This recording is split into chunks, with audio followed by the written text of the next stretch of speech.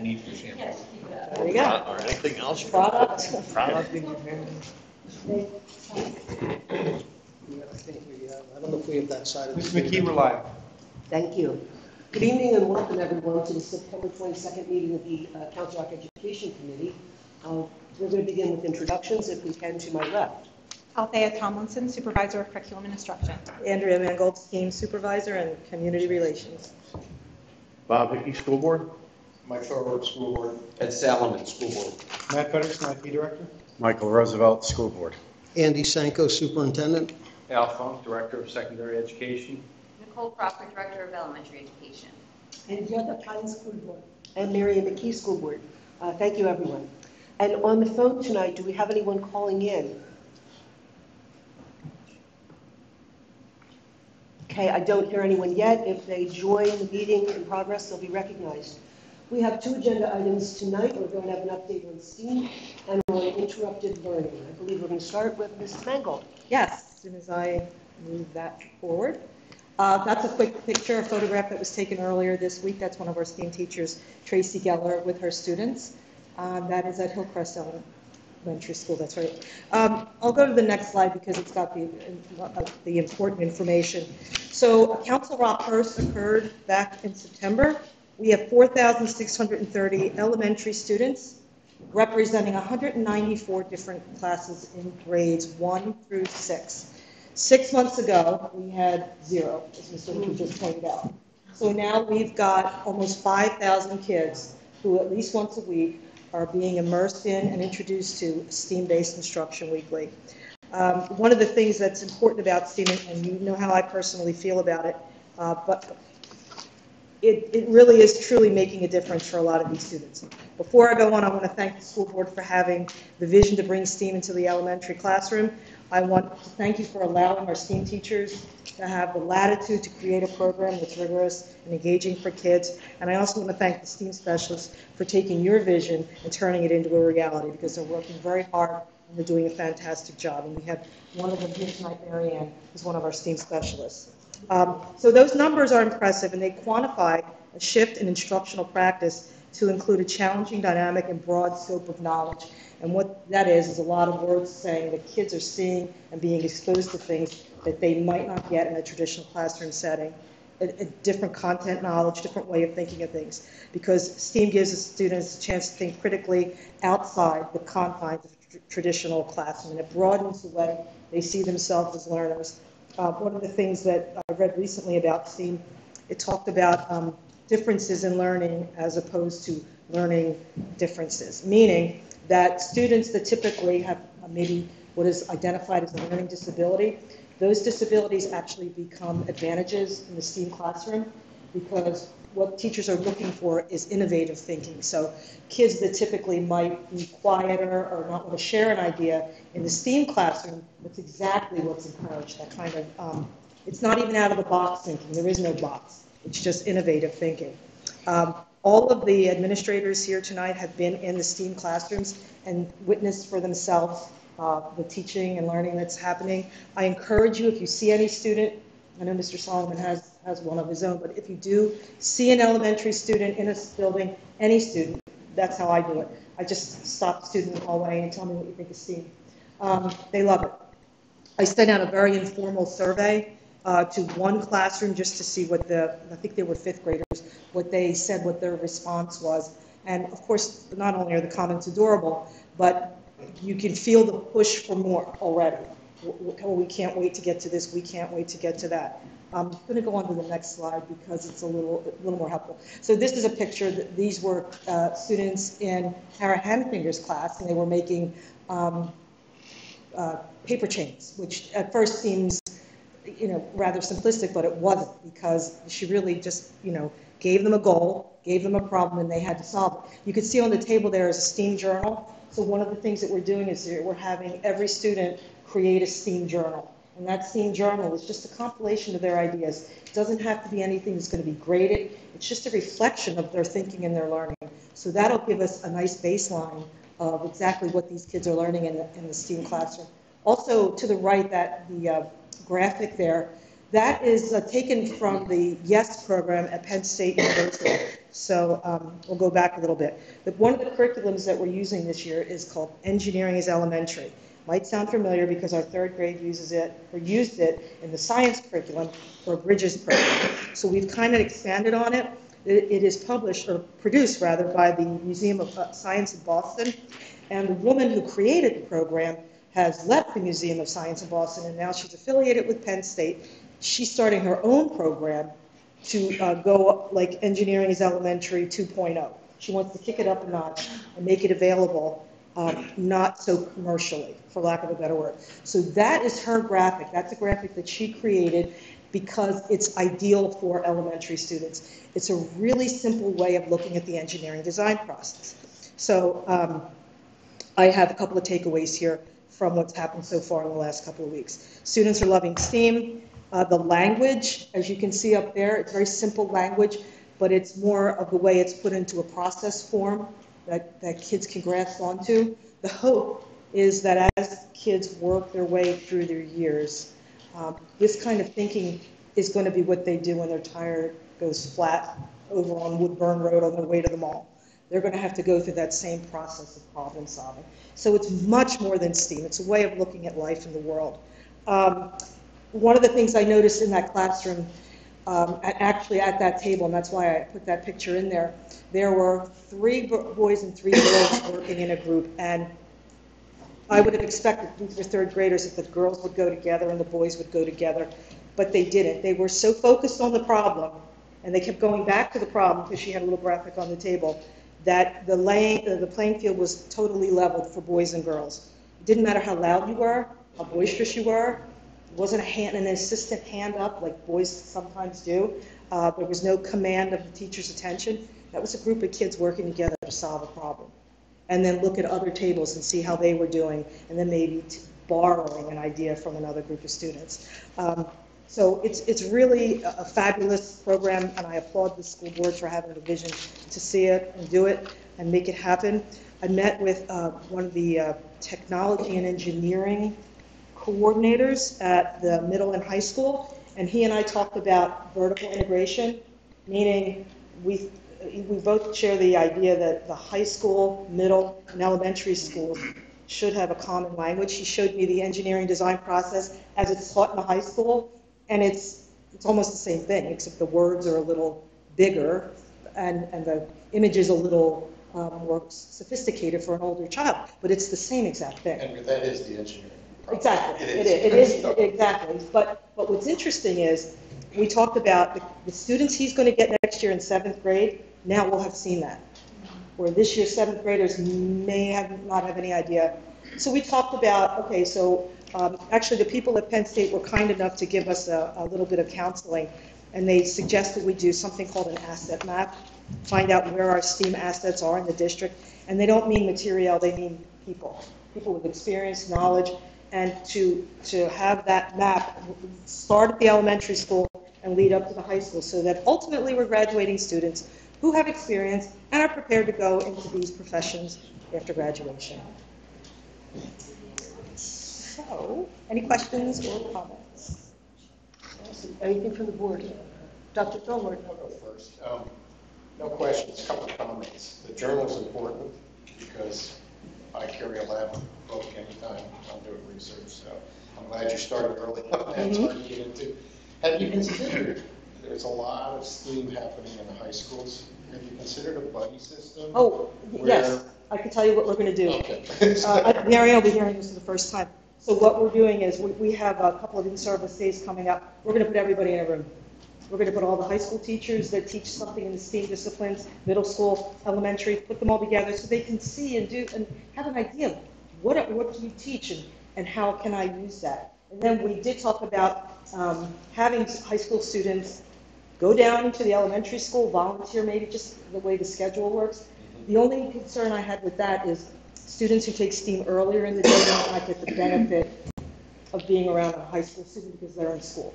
But there's ways we can work around that, so, That's, yes, that was what I was, if the big kids went, and Mhm. hung out with the little kids, um, it's, it's positive for both. Mhm. Uh, that's- I mean, there's a we- schedule. We had a a rocket club, and there was no way, I only have two hands. So they came down and, you know, every, every group was assigned a high school student and they built them together. So it's kind of cool.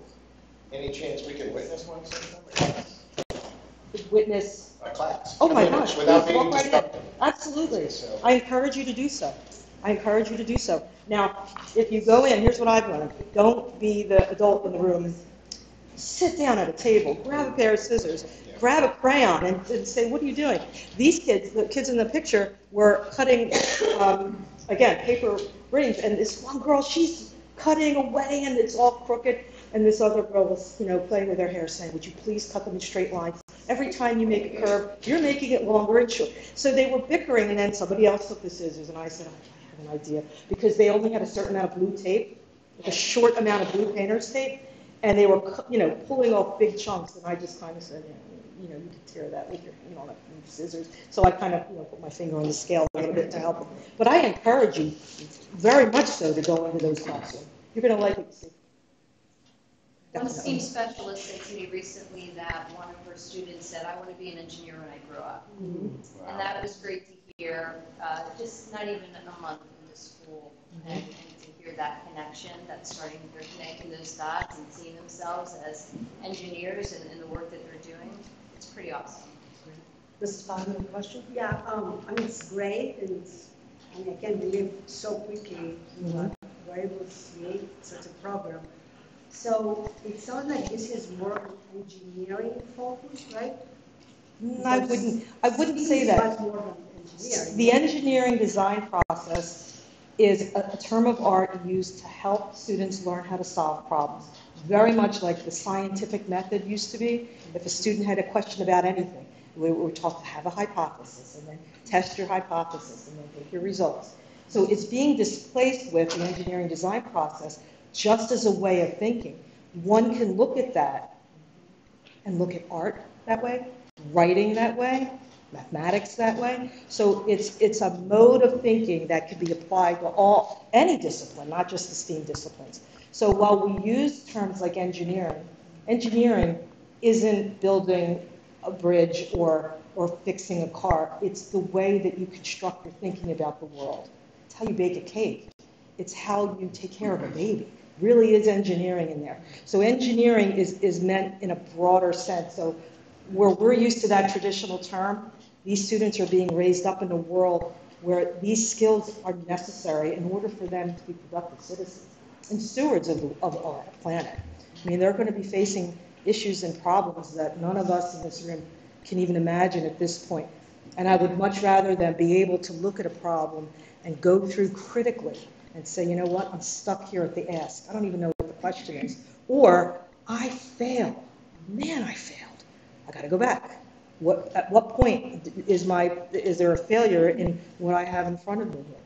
Failure is, is good. It wasn't good 30 years ago. Failure was a bad thing.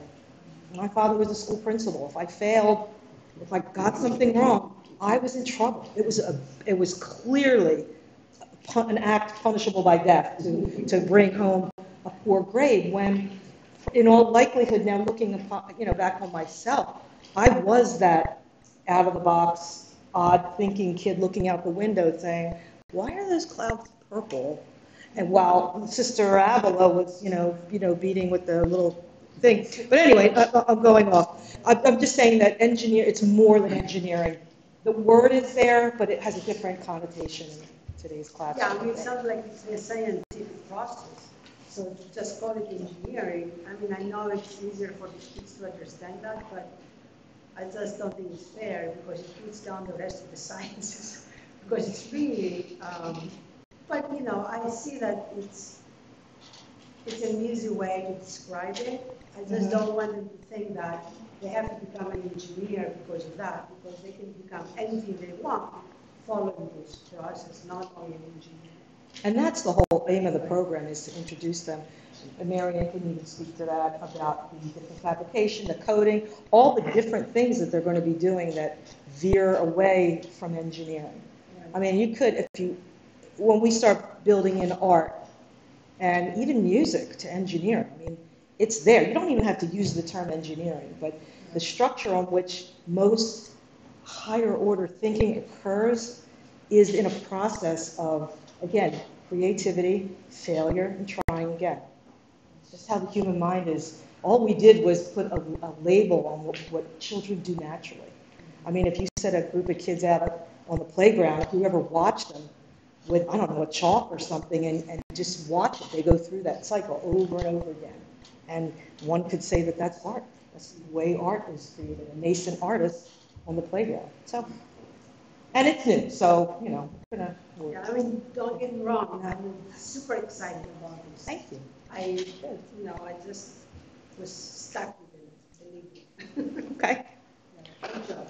I, I'm, I'm encouraged. I love hearing the passion in your voice, and I think that that demonstrates uh, both a, a proper selection from Dr. Sanko as well as a proper appointment of you. So this is wonderful, and I'm glad you touched on that. That's what I wanted to discuss, is, is the scientific method or the engineering method. And it really is a, a good understanding for life skills, to recognize that our, the first idea might not be the best idea to recognize that just because it works doesn't mean it's the best. To recognize just because you fail doesn't mean that you quit. I mean, all of these things are built into that method. And having a child, I think at this point, this generation, and after the, you know, the learning loss years that we've, that we've come across, it's really fabulous to hear such encouragement um, that it's working, that you have boys and girls working together, that you've got collaboration at different levels, um, and that you've got, uh, that you get kids that say, this is what I want to be when I grow up. And I know they're going to change their mind a bunch of times. My best friend wanted to be a fireman and an astronaut and a police, you know, and a policeman, and he was none of them. So, it- you know, th- this, this is great, I think, just to teach that. And it, and it does permeate through a lot of different elements. And I think that it helps us, even as adults, and this, these children that are becoming adults, to recognize what you do when you fail and what you do when you succeed. It doesn't necessarily mean that you stop. And I think that it helps and instructs all of us on how we can work together. So I'm, I'm thrilled to hear this. Thank you. Mr. Hickey? Uh, Yeah, I think, much like Mike said, I think the trickle-down effect of you heading up this program is going to be very good. You know, like I said, your excitement and everything else, and you've been doing it for a while. Um, One thing I'll ask, maybe a favor that you could get, if you could get to me like a, like a sample syllabus or lesson plan, Oh, absolutely. you know, like send me, one, just so I have an idea of, you know, how it all flows, much to like Yoda's point, who was saying like, you know, she doesn't want the concentration on the engineering. I- I'd like to see like, What else is in? there? what else is in there? Where, where, where's this going to be in a couple of months, like when we pivot to the art section mm-hmm. or, you know, the math section? So if you could get me, a- like, like I said, either like a, a long-term syllabus, just even an out, like I said, an outline or a, a lesson plan, that'd be great. I appreciate it. So I think a majority of the credit goes to the STEAM specialists because what they did was they worked together and they gave it the first four to six weeks just to get the classroom management down. Most of these teachers are coming from being a full-time classroom teacher into being a specialist teacher, which is a little, well, it's a big, it's a big shift.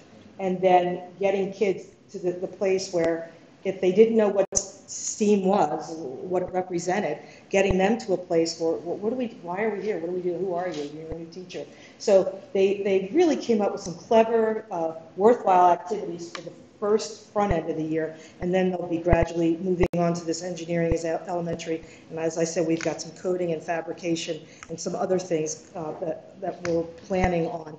So um, again, kudos to them for, for having the wherewithal to, to put this together. And also, again, to the board for giving them the latitude to do that. Because what we're building is lasting, it's viable, and it's strong because it's Council Rock. It's coming from us. It's not something that we're pulling off the shelf. So thank you for that. Any other questions or comments? from? Mary, I'll just make a comment. Please.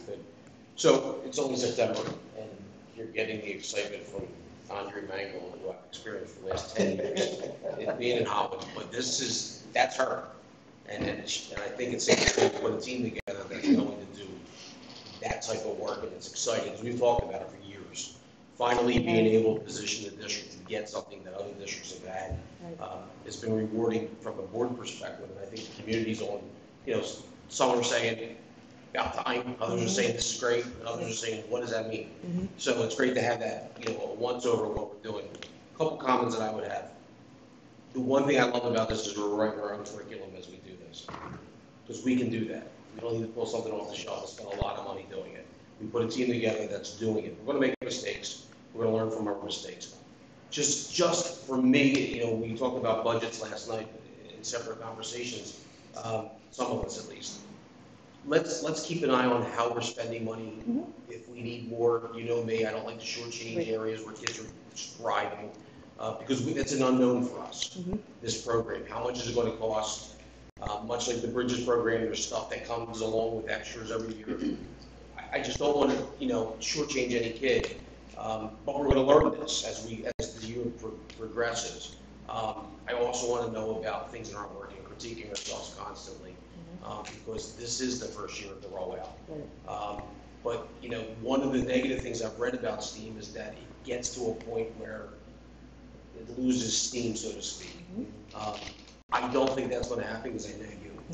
Uh, The challenge is always going to be there, but that's the challenge you have to put on your team. Mhm. And I think us watching this, not as an overseer, so to speak, but as being a cheerleader to this process, you know, it's important for me that it stays fresh and stays good. Mhm. When you ask my Emma how is STEAM, she says it's fun. That's about the best you're going to get out of that kid. But that's okay because she's enjoying it. Right. But the things that she's going to learn is many of the things you talk about, how to work with others, how to express yourself, how to be frustrated and fix that deconflict. You know, things that, that many kids can't do. And the best thing about kids is if you leave them alone long enough, they can fix it. Um, sometimes, most of the time. Enable your kids to fix it. But this is exciting. Uh, I'd like to see it back in a couple months. Absolutely. Uh, Um, and hear more, and see more, and smell more, and do Oh, more. sure. All this, and I know, I know, I know what you do. I know your body of work, uh, and I appreciate everything you've done. One one thing I will say, one cautionary thing is that um, this rollout did not come without challenges. Um, One of those is. No one said it was going to be easy. Right. Oh, no, well, actually, you know what, they're more practical challenges than they are academic. Um, One is space. Yeah, well, It's we not, know it that. doesn't look the same at Hillcrest as it does at Wrightstown. So that's a challenge that fortunately we have principal and Mrs. Crawford and the teacher who are willing to, you know, it's, it's kind of weird, but use the engineering design process to solve that problem. And it, and it's, we- we're using STEAM to solve a STEAM issue. And then another thing, um, I would say thus far, probably the most interesting expenditure has been stuff pipe cleaners and, and tape and, and paper and just the, the kinds of supplies that when you're teaching, like, on average, about 650 kids each. That's a lot of paper and a lot of tape and a Well, lot of. you add that with our science kids Right. for our grade levels. Yep. And everything else, and bridges and everything else that we, Mhm. that's what I'm saying. I just want to be careful and that we know a collective board and collective team that costs are here. Yeah. And I think they're going to fluctuate every year based on what we're seeing in the world today. Mhm. Um, But I just don't want to hear we can't do because of something money related. Um, And it might be because we didn't realize it. But that's okay, let's have that conversation. And don't forget grants as they roll out Well, throughout the there's year. grants there, yeah, and, and, you know, and and I walk a fine line between what a PTO does and what Right. district should do, Mhm. but we do have viable alternatives out there that can help the process go, especially in the, in these infant years, I think it's important. Super, Thank you. If if I may, just one more comment, because we've had a couple of people worried about focusing on engineering, in this, you know, the word engineering, as a practicing engineer and a scientist, the E in STEAM is just the other letters smushed into it. Engineering is nothing except science and math and technology and art used in unison to solve a problem. Yep. Engineering by itself doesn't exist. I mean, it just does, it, it is the fusion of the other letters in STEAM. Let's not forget that. I mean, it really is just, um, Mike and I are, are practice two different, completely different fields, but we use the same things. It's Right. just how we do it. Um, and so I, I don't want that to get lost either. It, it, it'll, it'll, it'll all fall out in the end. It's- So, um, just so we know. Agreed. That's great. I really appreciate that presentation, and thanks to you and to all of the teachers Yes. working on this. Please pass on our gratitude uh, for the work that's been accomplished. And as enthusiastic as you are, I think I sense from my board colleagues, we share the- your enthusiasm for this program. Thank you. Thank Thanks you. very much. So now we're moving on to A slightly less uplifting topic. Uh, So there's been uh, much discussion across the Commonwealth, across the nation for that matter, about um, the learning that has taken place over the last three academic years. And it probably should not come as a surprise to anyone that most research indicates that students learn less while traditional schooling was interrupted during COVID.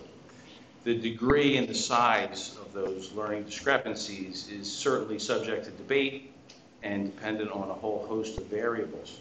For our part, we wish to acknowledge the missed learning opportunities and work to support programs and instructional practices which will foster growth for all CR students.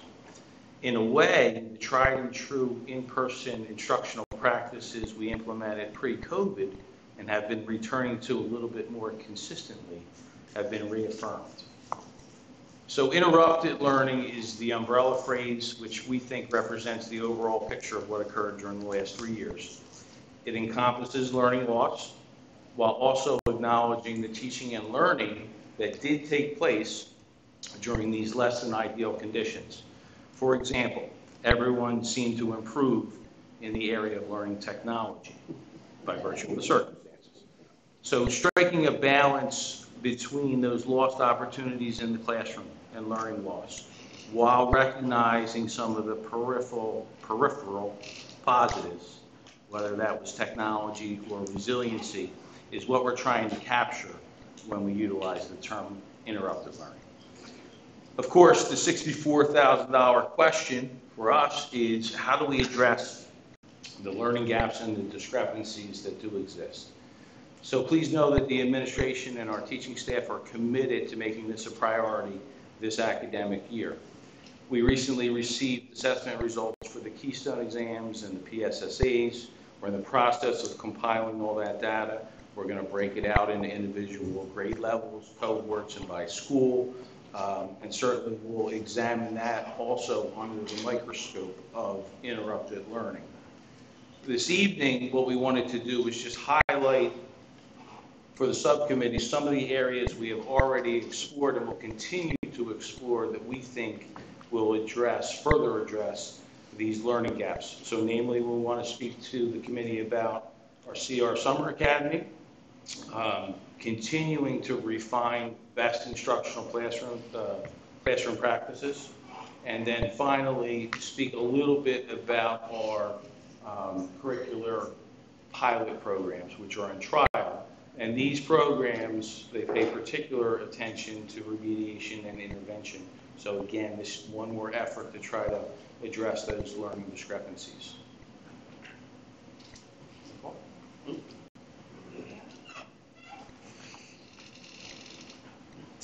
Okay, so the Summer Academy, I just want to begin by acknowledging the great leadership of Mrs. Gina Booth, who is the person that has built that program and led it, and it was very, very successful these last couple of years. So just some important information that we want to share, that we hosted 513 students in rising grades 1 through 12 this past summer. It's designed to address, just as Al said, that, to close that learning gap that we obviously are, are working on since the recent pandemic. This program is federally funded through ESSER funds, that's the Elementary and Secondary School Emergency Relief Fund.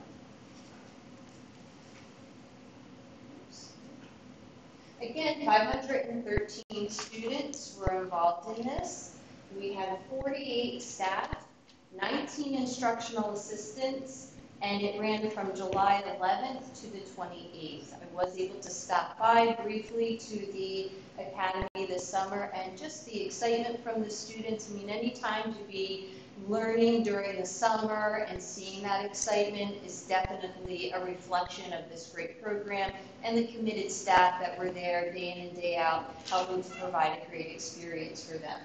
I was really impressed when I learned from, from Gina that it had an 86% daily attendance rate. So these are the academic courses that were uh, provided over the summer during the academy. And I just want to highlight tonight that these courses did focus on the priority standards and they were found within each grade level and or course. So that just gives you a sense of what was available to students.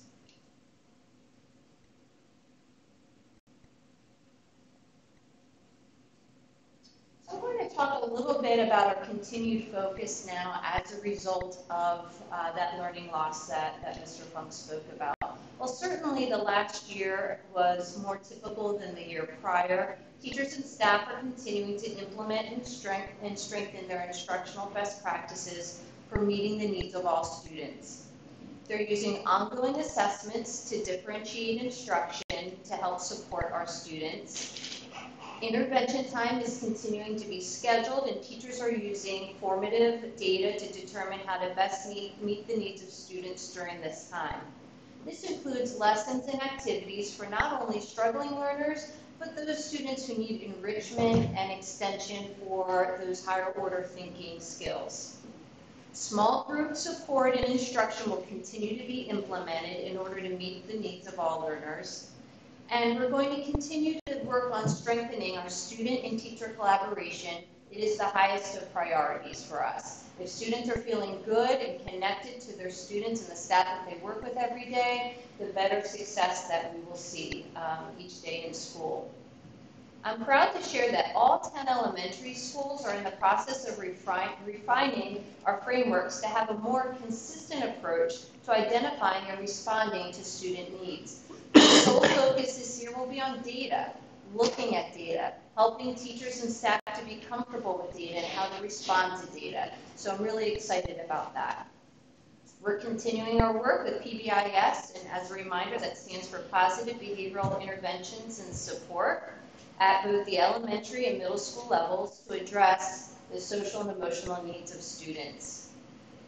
We're bridging any gaps in student learning, and it remains a priority as we share for all administration, teachers, and staff.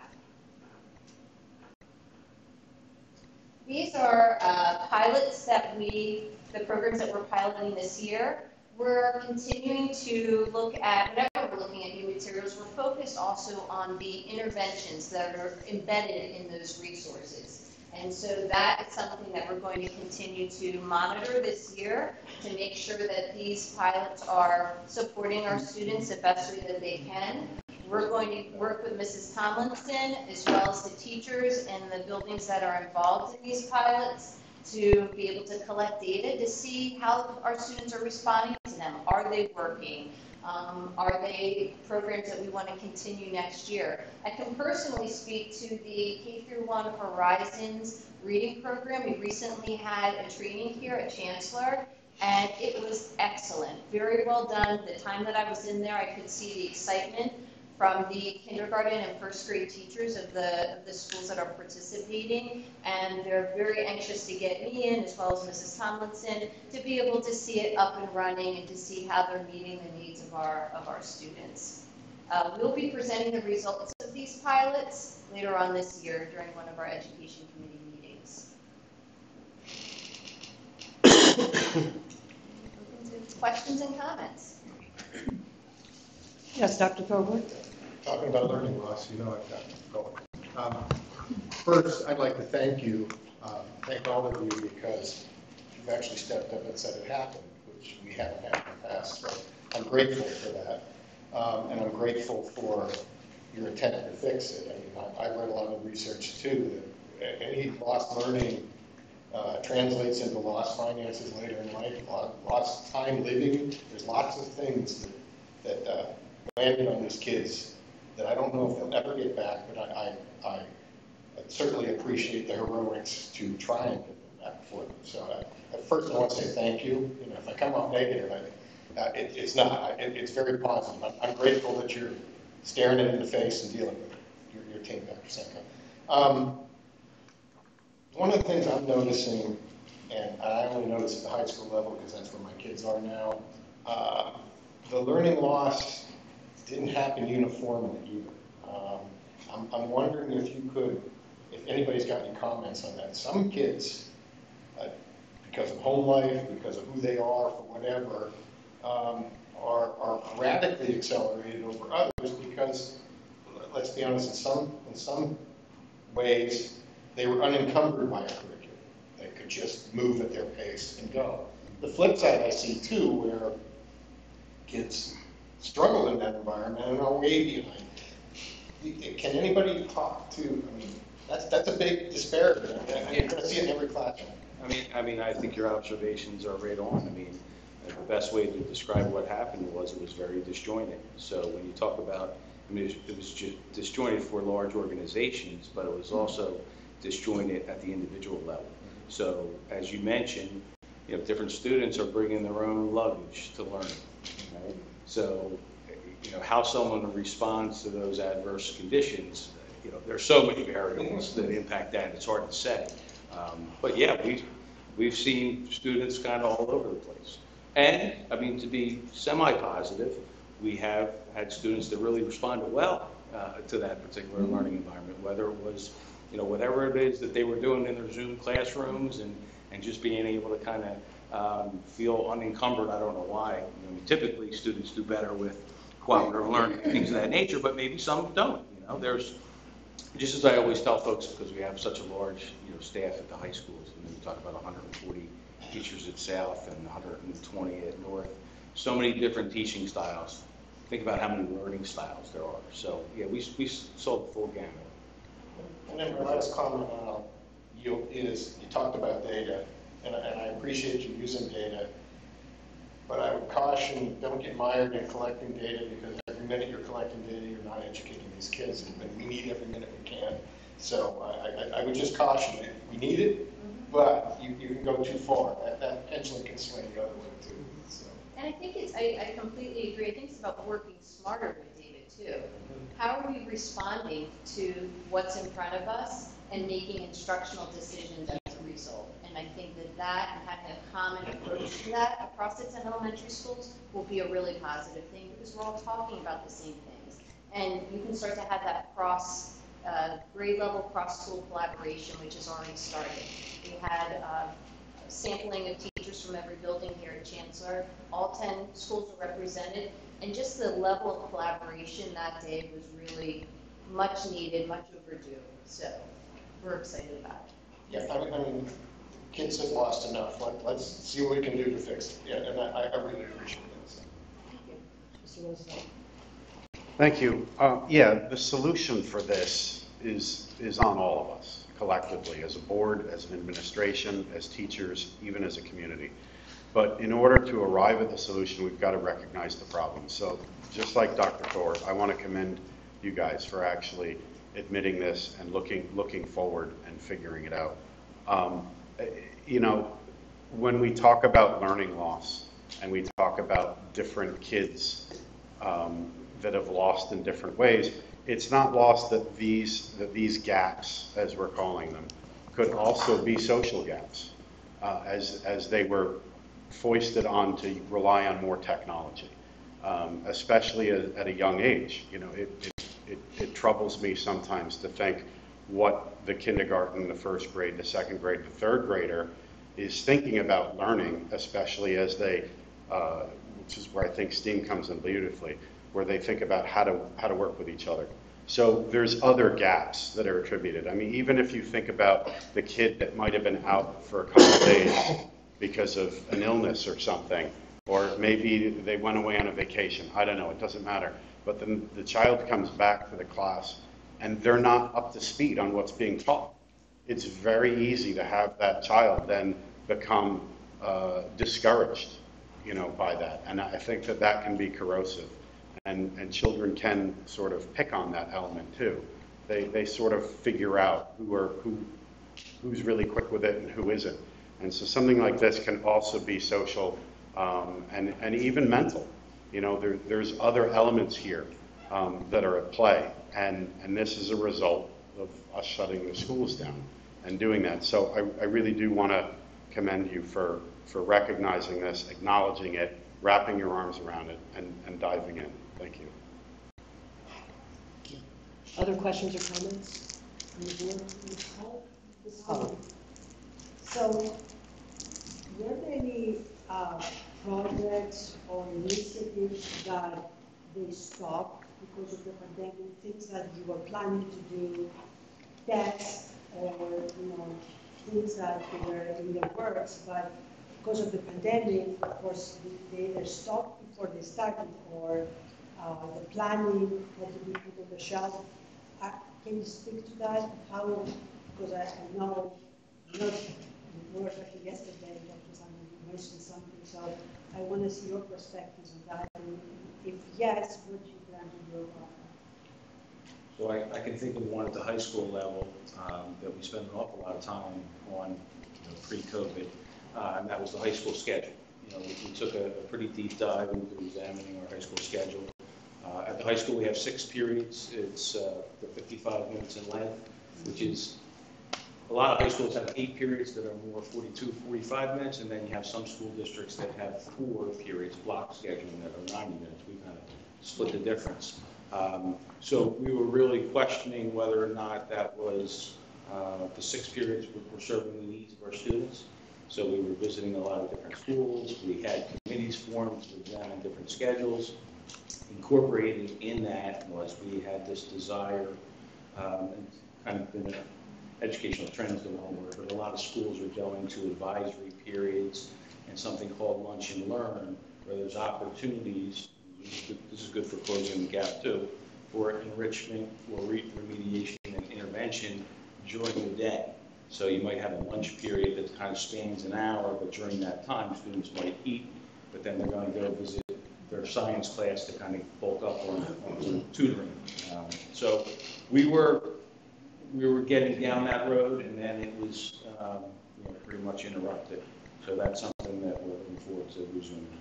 So is there a plan to revisit that? So this year, we're looking at the advisory period at both high schools. So those committees have been formed, and we have the potential that we may see that second semester, an advisory period uh, that hopefully will serve the needs of the high school population. I mean, it sounds like an advisory period, the way you describe it, would benefit the students tremendously, even if they have or have not learning loss, so they can find out, you know, they can get help when they need it. Yep. So if you can look into that even before the whole, you know, curriculum change or like the scheduling, that would be, I think, excellent way of helping the students. in my opinion. Um, At the elementary level, I can speak to something similar. We were implementing intervention time prior to the shutdown. We still are, but we're revisiting, as I shared earlier, what that time is specifically being used for. How is it going to be used? How are we supporting students during that time? Obviously, I think you used the word disjointed. Things became disjointed when students were home, and then upon coming back, it was a little tricky too with distancing. Now we're getting back to, and we did last year as well, but continuing to strengthen how we're using that time because it's critical, especially when we talk about, you know, uh, learning loss and, and, and helping students to, to meet their needs. You need that individual or small group time to do so. So although that was in place last year, we're having those conversations at the elementary level I can speak to, just to make sure we're using it and we're streamlining our work to make sure that we're maximizing that intervention time, and getting back to that. So what about the the school start, because that would also help them sleep a little bit more, right? So they can, you know, function better and learn better. Have you, I know you start looking into that, where do we start? So It's funny, because Dr. Sanko tapped me on the shoulder and said, late, late start Oh, time. we did, we did do uh, an awful lot of work with that, and sleep studies and and whatnot. And that was again something that kind of abruptly stopped pandemic, so we'll certainly look to return to that, those studies and uh, further examine that work. I mean, we did do some positive things right before the end of the changes that I think we're seeing now. At the middle school level, we moved the RA period to the end of the day, on the elementary, fifth special. And, you know, so some work did get accomplished, but, um, you know, definitely created, uh, more disjointed Yeah. I mean, I, I just want, was curious about that, but I want to say this presentation was really good. I'm very happy we're doing all these initiatives to help the students, you know, get up to speed and get all the help that they want, so thank you so much for everything. Other questions or comments from the board? Mr. Hickey? Uh, you actually just mentioned it, but my question was, I know it's a very small sample, but is there any initial feedback on the change to the middle school schedule with the RA program being moved? I think I've heard positive things about it. Um, I th- I think having, having time at the end of the day, actually even from, again, I keep talking about remediation and intervention, just an opportunity for students to circle back. Um, There's time to meet with some, some classroom teachers if you had an earlier issue, or if you know you have a quiz or an assessment coming up. I think there's just greater flexibility at the end of the day in general in the middle school schedule. So I think uh, that's a couple of positive things I've heard from principals. Dr. Forward? You know, I, I, I'll just comment, and now I have a driver in high school. You'll spend an extra hour after school, because that's, to- to your point, Bob, that's a good time to talk over a test, or, so I, I mean, I, I, I can see it, you know, trickling all the way up with, with kids. It's hard if you gotta catch a bus at two fifteen. Yep.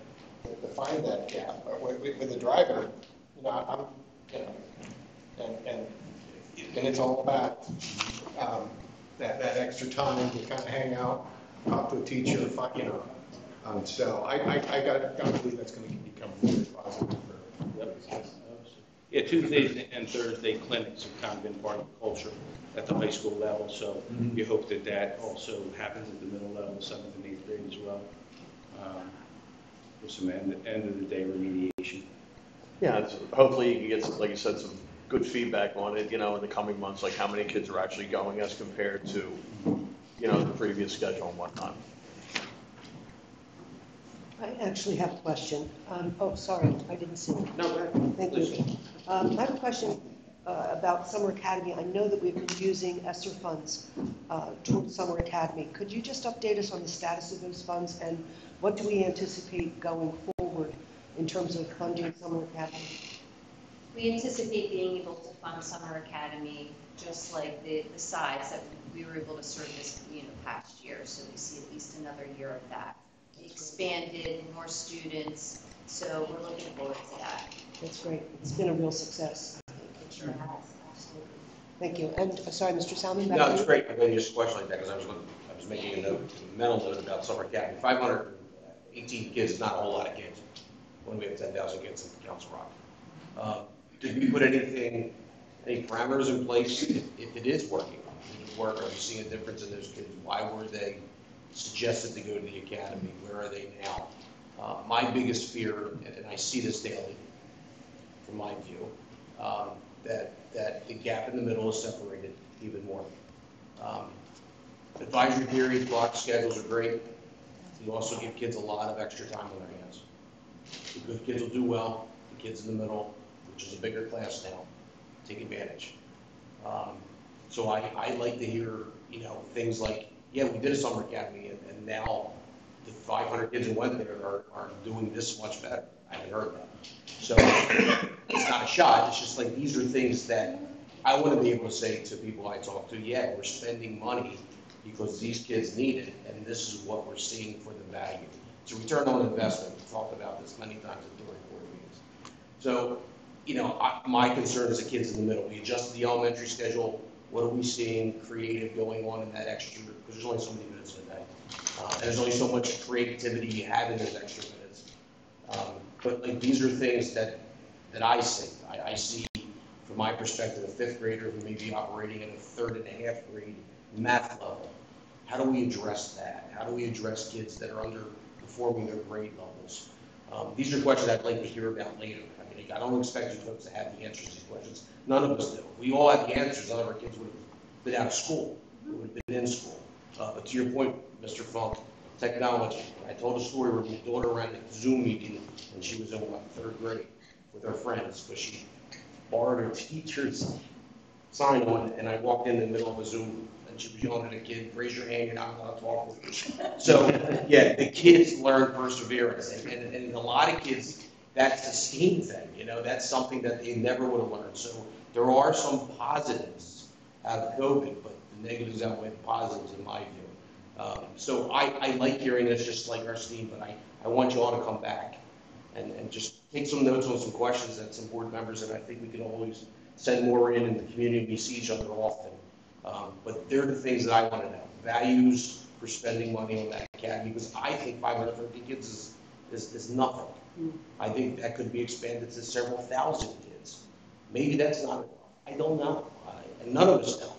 But I applaud the fact that we've acknowledged, as, as it's been said already this evening, that, that Council Rock was a leader in many ways in Bucks County in putting kids back during COVID, um, and, and and addressing some needs. But I see, what I see daily where I work, uh, kids are hurting, kids need help, kids need extra work, um, and there's not enough hours in the day, regardless of when they're coming to school.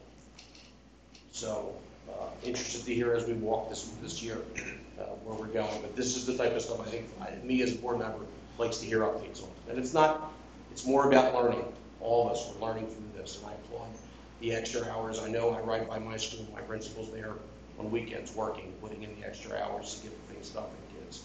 And that's what it's about, that's what we're here for, so, thank you, um, I hope to hear you from you again shortly. Thank you. Any other board comments? Mr. Roosevelt? I- I- Yeah, I- I'm fascinated. Was there a criteria on how the 515 or whatever it was were selected? Or was it just because those were the families that said, thank you, Council Rock, for putting this together. I know my kid has an issue, and here you go. And I thought the statistics were interesting as far as how many sections per, you know, class, and that, and that the majority was, I think it was third grade, right? But there was a lot in first and second and third as well. So, you know, that's the concern about what this cost, you know, and, um, it, and it is, I, I agree with Mr. Salmon that, that there is a middle which might be bigger. So how we try to figure out who, identifying the kids that do need the help in whatever capacity it is and helping them get that, because as Dr. Thorward said, this, this could very well translate into a lot of life issues.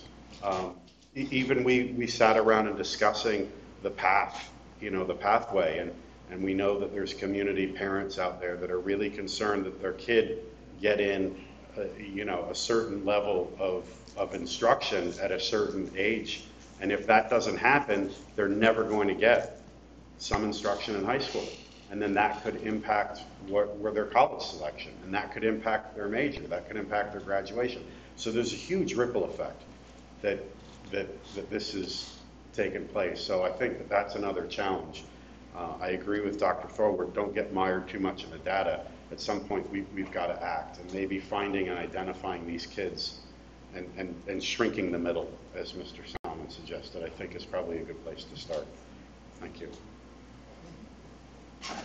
Any further comments? Okay, I'm not seeing any. And I want to um, appreciate the representation of community members at our meeting tonight. Um, And since you have made the effort to come, I would uh, open the floor to questions or comments from you. But I'm going to ask that I follow the good practice of our board president, Mr. Salmon, and ask that if you do have a question or comment, that, excuse me, it be related to our agenda items tonight, and that you would also limit your question or comment to three minutes. So is there anyone from the community? Yes, would you please, uh, Hi, I'm to assuming related to what you're just talking about, so. okay. Um, my name's Colleen Gary, and I have a son in ninth grade at North and a daughter in seventh grade at, uh, Newtown Middle. And my daughter was in summer academy last summer. Um, she didn't do it this summer, um, because of, um, scheduling and vacations and those sort of things, and that might be why there's a lower number in some cases. Um, it was longer this year. Last year, they had a choice of two weeks at the beginning of July and two weeks at the end, and that seemed a little bit more convenient and, and just personally for us, um, instead of the three-week block. Um, and I don't know how much my daughter benefited from it. She has a specific reading disability, and I don't know that it targeted that specifically. So it was a great kind of opportunity for her to be in school more, but that's kind of the reason why we didn't do it again this year. Um, but I do have another case study. My case study. My uh, my good friend actually just this week told me that her rising second or in seventh grade now did the math this summer, and it was a huge help to him. Like she couldn't say more good things about it. So that's one little case study for you that And it that's really great, helps. that's, that's Yeah. exactly yeah, that's, So- that's kind And I had a question about how many years you're going to be able to continue to do it, but you kind of answered that already, so thank you. Thank you. Anyone else in the public wish to comment, questions? Chief, yes, please. Um, I had, I had come, actually, I had emailed, um, Mrs. McGee a couple times about special education. And so I was hearing the board's questions, especially this with your words, I don't think you used this word, but I believe the, you know, your question was sort of tied into equity among. And so my question would just be, can we have some discussion related to students with disabilities and IEPs? So I reached out to Marianne, um, specifically asking about, um, I haven't seen this committee or the school board in general talk publicly or provide much public, um, uh, opportunity for the public to, um, this, to talk about and comment on a special education plan. So a special education plan was approved by this board recently, I believe August, July. Um, I did go to that meeting, but there was no public presentation, there was no discussion. When we talk about the learning gap, we're talking about students struggling, how are we not including our most vulnerable students, our most, you know, our students that are struggling with IEPs with disabilities. So I just ask that you, as a committee, as a board, take it upon yourselves to have these same discussions for our students with IEPs, our students with disabilities.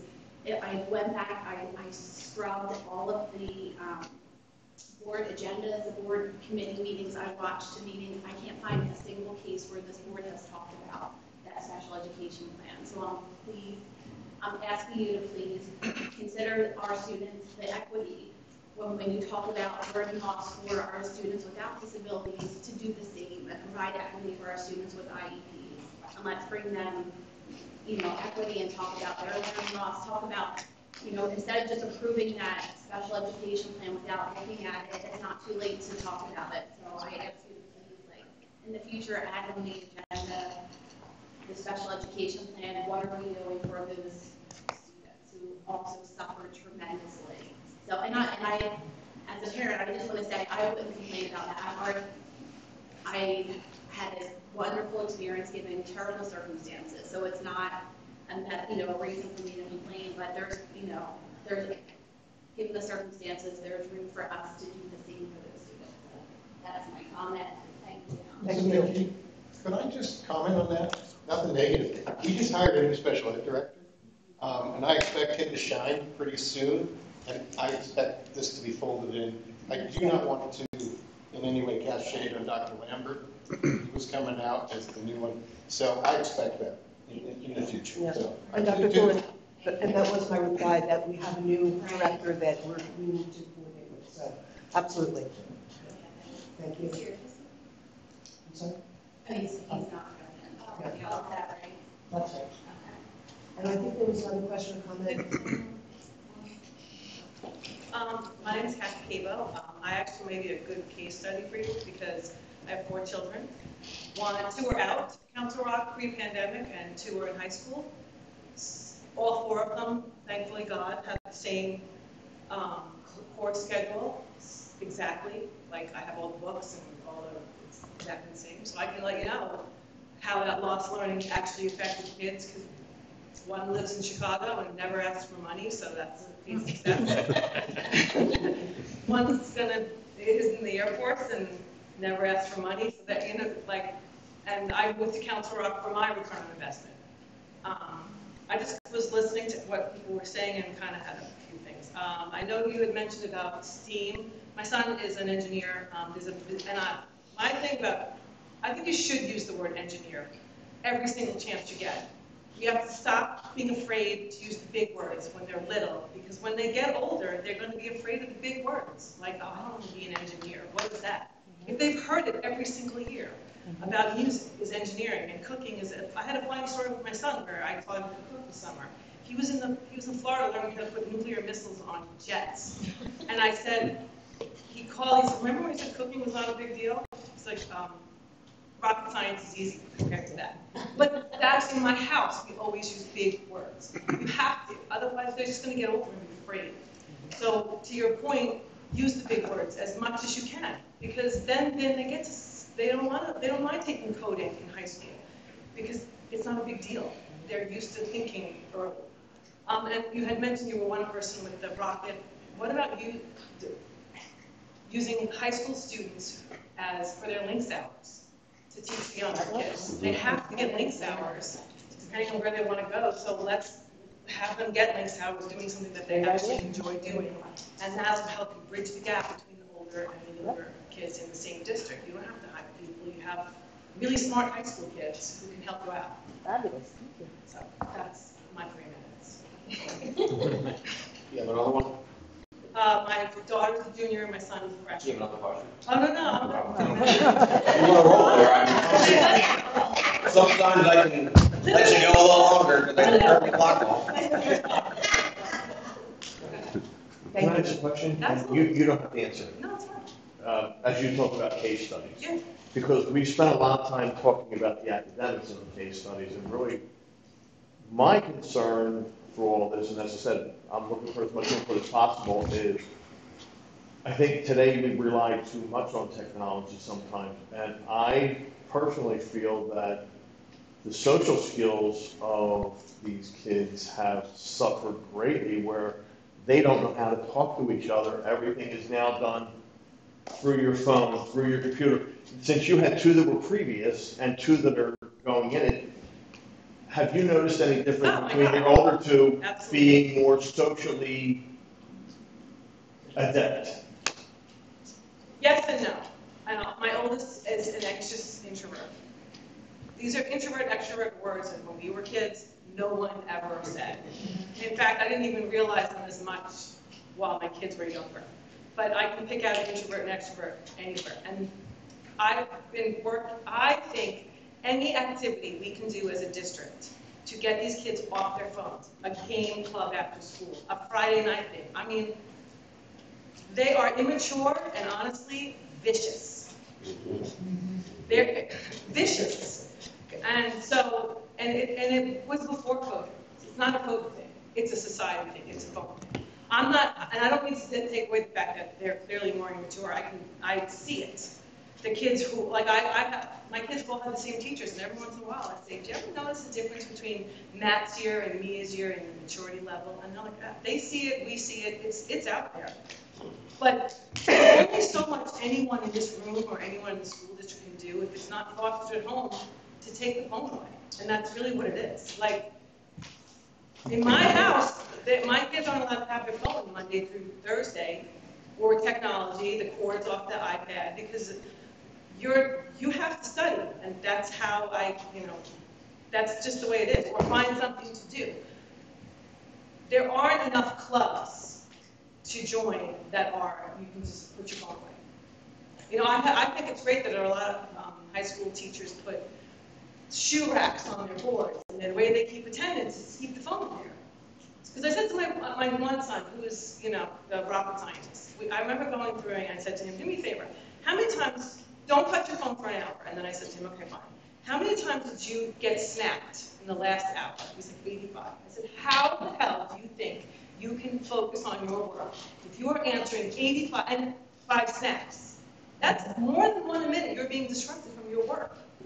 And he wasn't even like popular. Wait, turn off the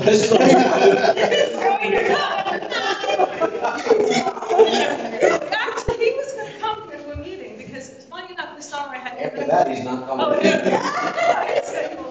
But like this summer, I had him and a friend over, and I overheard them saying about being prepared for school, and they were like, you know, I was really surprised how well prepared I was for college coming out of Council Rock. Like they were, they were happy they went to school here.